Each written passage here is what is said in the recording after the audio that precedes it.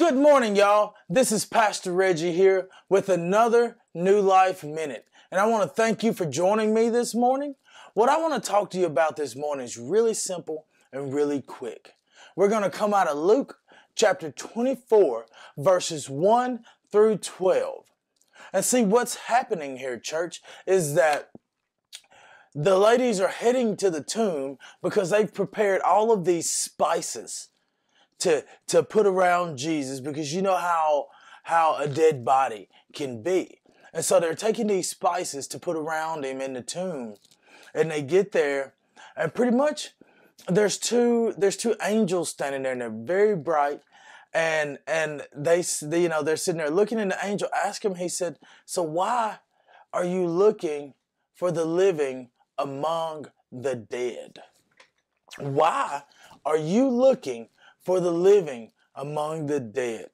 Church, let me tell you something. Let me tell you something. At that point, they realized, after being reminded what Jesus had told them in this scripture, I want to read it to you real fast, church. I want to read it. And it said, Why do you seek the living among the dead? He is not here but is risen. Remember how he spoke to you when he was still in Galilee, saying, The Son of Man must be delivered into the hands of sinful men and be crucified, and the third day rise again. Church, let me tell you something, okay? Let me tell you something. Is that on that third day, he rose again. He defeated sin. He defeated everything. And that's what we need to realize, realize is that on that third day is when we received victory over every situation that we face. We receive victory for our stupidity and ignorance as we have come through life and lived sinful lives is that he died on the cross for us. For all of our sin, He died on the cross for us. On the third day, the stone was removed, and Jesus walked out of that tomb. He didn't have to stay there. He did not have to stay there.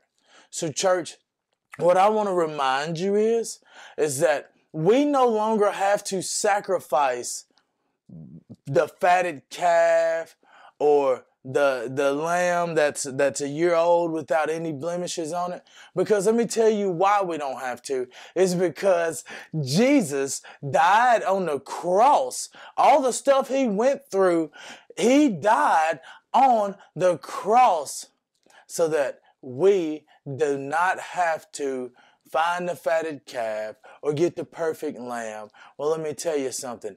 Jesus was the perfect sacrifice. He was the perfect sacrifice. He was and is the spotless lamb, church. And I just want to remind you of that as we move into tomorrow, which is going to be very unusual for us, not being in the church house Lord, would you remind us to be the church? Let us pray. Heavenly Father, would you remind us that we are the church as we go through tomorrow as it would be unusual, unusual, but Holy Spirit, I pray right now that you would move in such a mighty way through everyone's home, that there would be a refilling and an overjoy from what you have to offer. And we thank you for dying, Lord, and being the, the ultimate sacrifice. In your son Jesus' name I pray. Amen.